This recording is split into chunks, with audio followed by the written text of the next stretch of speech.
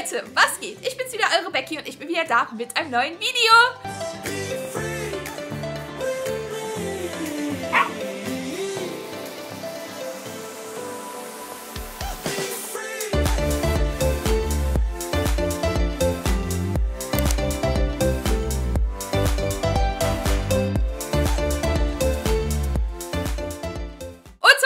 Heute wieder eine Story spielen auf Roblox und nicht nur irgendeine, denn die soll besonders spooky sein. Und zwar ist die Rede von der Pooh Story. Vielleicht habt ihr die ja schon mal gespielt, vielleicht auch noch nicht. Ich noch nicht. Ich werde es zum ersten Mal mit euch zocken. Auf jeden Fall soll die, ja, sehr creepy sein und Winnie Pooh in gruselig. Geht das? Auf Roblox auf jeden Fall schon. Und ich habe Neuigkeiten für euch, Leute. Es gibt wieder neuen Merch in meinem Shop. Und zwar unter anderem auch diesen Gaming-Pulli jetzt von mir. Es ist ein bisschen weird, dass ich mich selbst beim Zocken anhabe. Ich wollte es euch auf jeden Fall zeigen.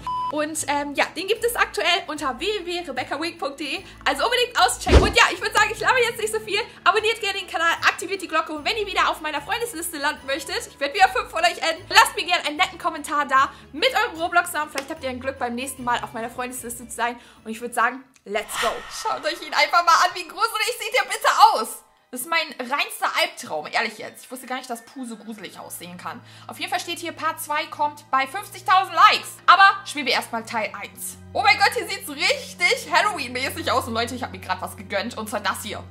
Ja, nur für euch und für mich. Weil ich liebe Regenbogen und äh, alles, was glitzert und funkelt. Ich glaube, das werden wir auch sehr gut brauchen, äh, um diesen Grusel-Puh zu besiegen. Puh-Story fängt jetzt an. Uh, ich bin aufgeregt. Gerade eben kam so Halloween-Musik und äh, bisschen spooky und so und jetzt auf einmal so tropical Urlaubsmusik. So, hä? Und nicht Puh eigentlich auch irgendwie im Wald? Oh, wow. Wir haben hier einen Springbrunnen. Wir haben das Meer hier. Tannen und Palmen.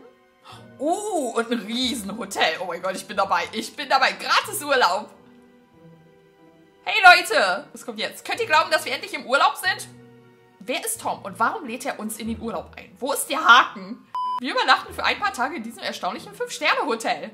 Wow, er hat sogar ein Hawaii-Hemd an. Sind wir auf Hawaii? Lasst uns einchecken, damit wir im Pool spielen können. Folgt mir. Ähm, können wir ihm trauen tatsächlich? Ich weiß ja nicht, ne? Oder hat Tom einfach zu viel Geld? Weil wer lädt einen einfach so gratis in einem wunderschönen Urlaub ein? Macht keinen Sinn. Ja gut. Wir sind die Ersten hier an der Rezeption. Tom lässt sich Zeit. Obwohl er der Sponsor ist von uns. Hallo, ich check unter den Namen Tom ein. Wo ist der Haken? Ich trau dir nicht, Tom. Sehen wir mal hier.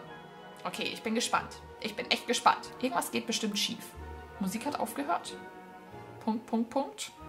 Oh, oh, ich hab's doch gesagt. Es sieht so aus, als könnten wir nur elf Leute in einen Raum unterbringen. Warte, sind wir in der Jugendherberge? Ist doch ein Hotel, oder? Fünf-Sterne-Hotel. Warum elf Leute in einem Raum? Ähm, was passiert jetzt hier? Oh nein, jemand muss nach Hause gehen. Lasst uns abstimmen. Wer? Bitte was? Nein! Wer soll ich nehmen? Das da. Fa irgendwas mit Fanta. Fanta soll raus, leider. Es tut mir leid. Olympic Sim muss gehen. Oh nein, wie sad ist das denn? Irgendwie sind auch, glaube ich, gerade ganz viele gegangen, oder? Freiwillig schon. Ich glaube, die trauen Tom einfach nicht. Da hinten sind sogar Geister. Nee, das hat jemand als Hut. Ups. okay, wir können jetzt in den Raum gehen. Er hat eine Suite für uns, Leute. Bin mal gespannt.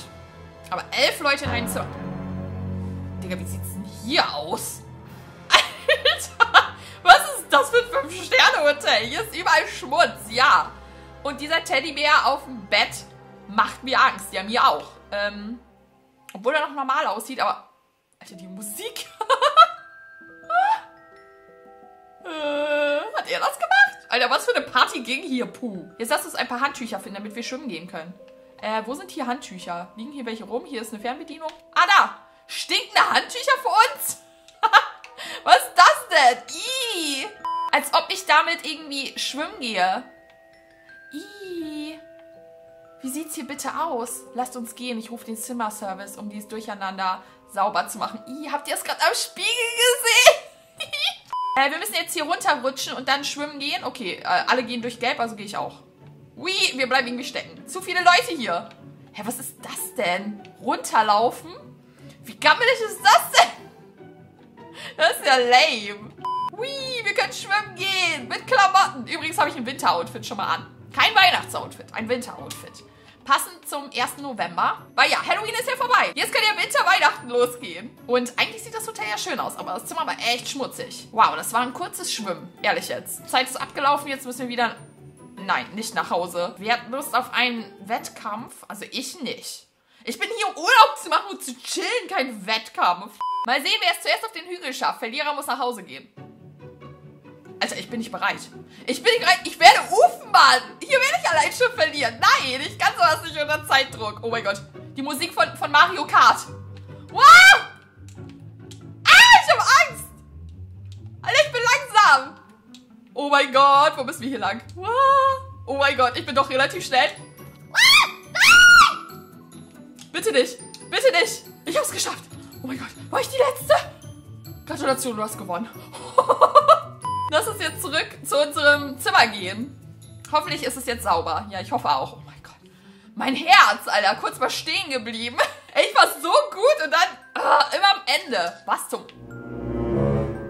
Was ist los hier? Warum guckt ihr Fernsehen? Warum guckt ihr so ein komisches Bild nur an? Oh ja. Ah, was ist los hier? Macht es aus.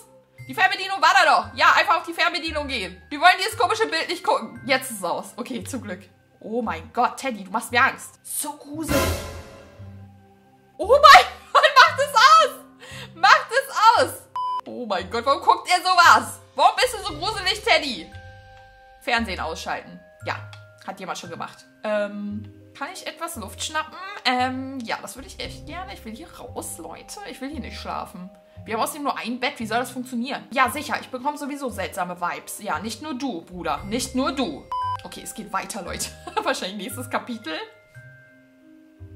Äh, wir sind jetzt draußen, um ein Lagerfeuer zu machen. Ich weiß ja nicht, Leute, aber ich habe ein bisschen Angst. Äh, ja, ich auch. Alles ist heute so verrückt. Ja, wie bei dem Teddy. Oh mein Gott, woher kam der denn? Wer hat das geworfen? Ja, ich nicht. Der hat sich von selber bewegt. Also, ich glaube mittlerweile an alles hier. Warum ist er im Lagerfeuer? Ah! Leute, rennt! Äh, Hilfe!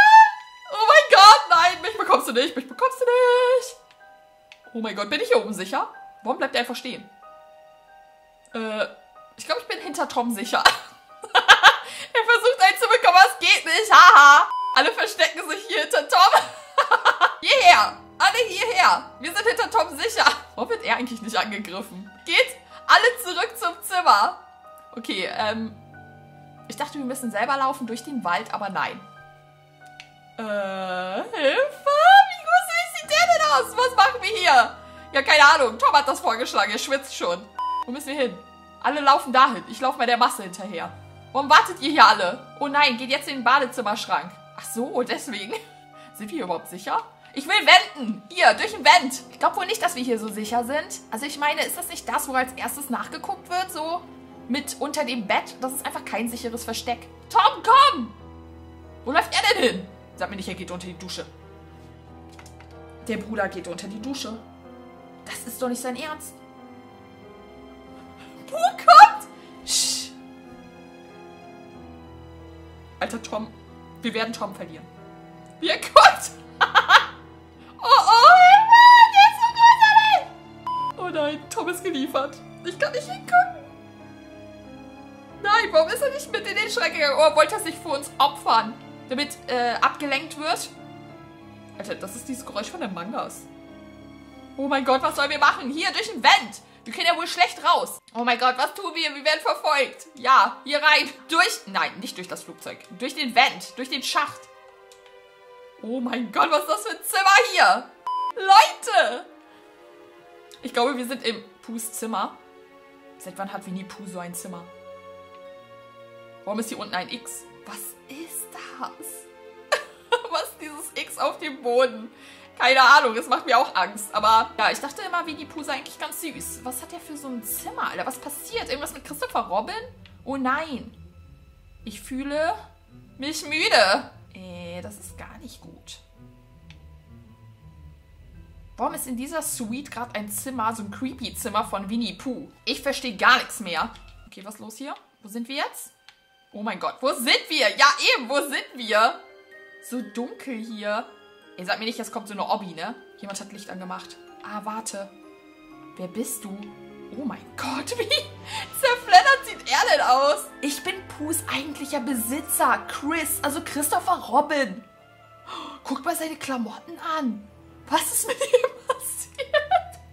Jetzt kommt davon, wenn du nicht mehr mit Puh spielen willst. Etwas hat ihn in den Griff bekommen und jetzt ist er verflucht. Also irgendwas hat ihn besessen, Leute. Der einzige Weg, ihn zu stoppen, ist, den bösen Teddy zu zerstören. Gott, das sagt doch noch Christopher Robin? Das kann ich Winnie Pooh nicht antun. Damit wir unseren geliebten Pooh-Bären retten können. Also wenn wir ihn zerstören müssen, wie können wir dann Pooh retten? Finde den Schlüssel, damit wir hier raus können. Okay, wo ist der Schlüssel, Leute? Finde den Schlüssel. Okay, ich sehe hier gar nichts. Wo ist der Schlüssel? Müssen wir hier durch? Ah, los geht's. Okay, ich bin gespannt. Finde ich einen Schlüssel? Oh, hier sind Fässer. Oh mein Gott, wo ist der? Müssen wir hier warten? Honigfässer. Ähm, das müsste Pus Honigkammer sein. Ich dachte, hier liegt irgendwo ein Schlüssel vielleicht rum. Oh mein Gott, ich habe Angst. Ich habe Angst. Oh oh. Die Tür ist zugegangen. Oh, das ist Puh. Ah! Weiche von mir, du verfluchter Teddybär. Geht weg von meinem Honig. Wow. Sehr sympathisch. Ich bin nicht freiwillig hier. Oh nein. Oh nein. Lass mich. Geh einfach an den Honiglava vorbei und... Und was? Entkomme Puh wahrscheinlich. Okay, ich bin so schlecht in sowas. No way. Jetzt hier durch.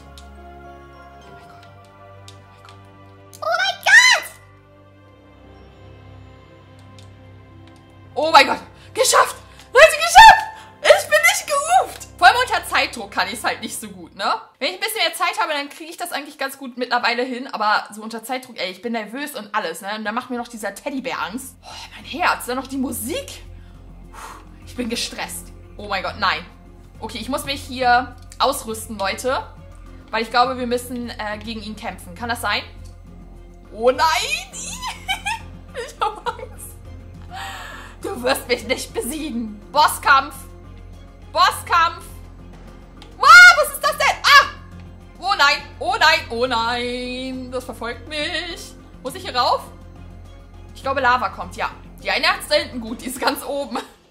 Und jetzt, glaube ich, können wir ihn gleich angreifen, oder? Los! Warum kann ich nicht angreifen?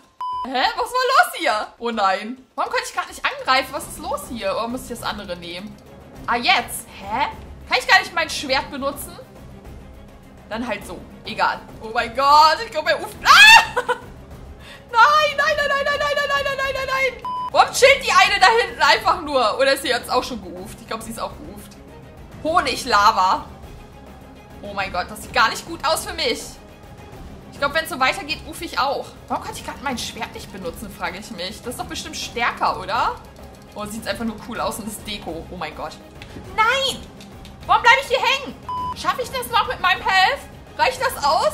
Oh nein, oh nein. Ich glaube, ich sollte schon vorher gehen, oder? Nicht so lange stehen bleiben.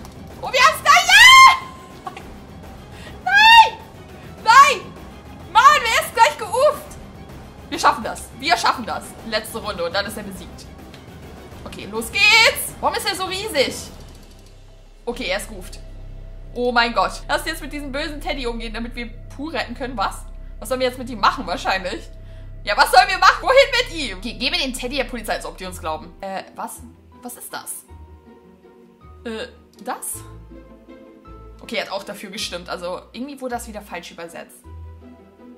Aber zur Polizei ist keine gute Idee, glaube ich, mit dem Teddy, weil die glauben uns nicht. Äh, okay, was ist los hier?